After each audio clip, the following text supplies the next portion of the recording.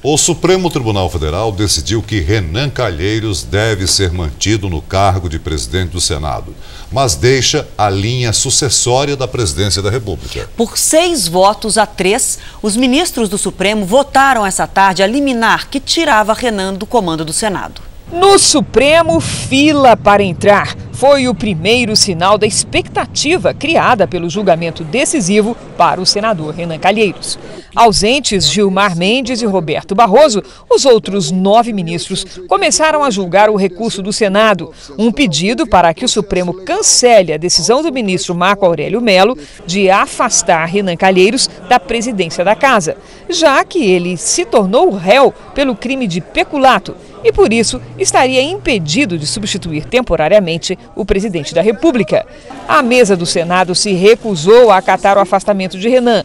Para o advogado da casa, apenas uma reação de surpresa dos senadores. Jamais o Senado Federal teve a intenção digo em relação por parte da mesa e especialmente por parte do, do seu presidente, senador Renan Calheiros, de desafiar esta corte.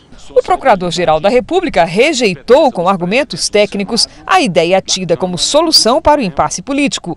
Renan seria mantido no cargo, mas deixaria a linha sucessória do presidente da República. A prerrogativa constitucional é do cargo. A prerrogativa constitucional não é da pessoa.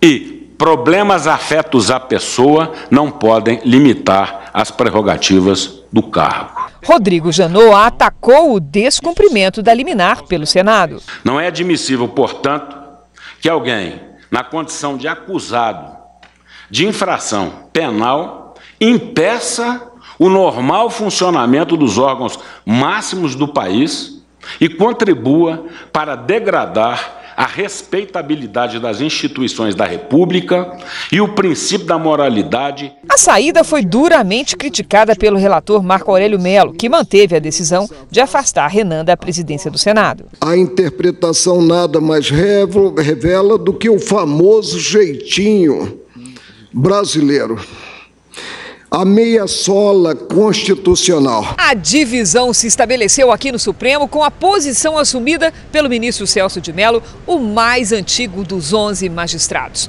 O ministro considera que Renan Calheiros não pode ser afastado sob risco de afetar os trabalhos do Senado. E ele acatou a solução intermediária.